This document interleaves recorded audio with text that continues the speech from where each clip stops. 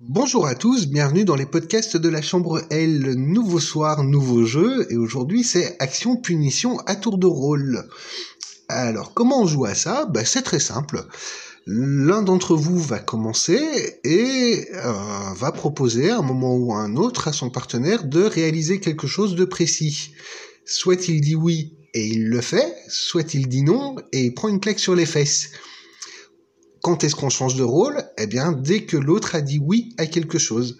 Alors, interdiction de proposer deux fois la même action, parce que bah, si on a dit non une fois, bah, c'est qu'on manifestement n'a pas envie de la faire et on n'est pas à l'aise avec. Et on s'amuse beaucoup à ce genre de jeu. Alors qu'est-ce qu'on peut proposer? Bah la manière de s'embrasser, une position à prendre pour se laisser caresser, de venir sur les genoux, de faire d'autres choses. Amusez-vous bien.